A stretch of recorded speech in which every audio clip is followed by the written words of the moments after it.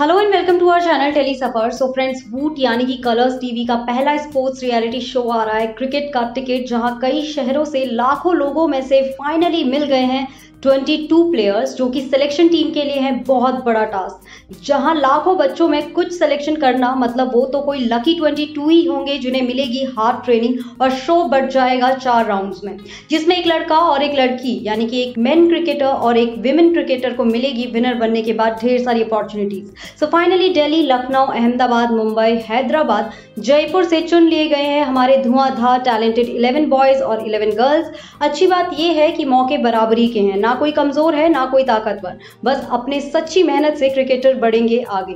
तो आइए दिखाते हैं आपको उन सेलेक्टेड 22 कंटेस्टेंट्स को जिन्हें मिली है इतनी बड़ी अपॉर्चुनिटी इतनी बड़ी opportunity to show their real talent in top 22 में batter bowler wicket keeper leg spinner off spinner शामिल हैं। तो दोस्तों ready to watch this cricket का टिकट तो हमें कमेंट बॉक्स पर ज़रूर बताएँ और साथ ही चैनल को लाइक शेयर एंड सब्सक्राइब करना ना भूलें। धन्यवाद।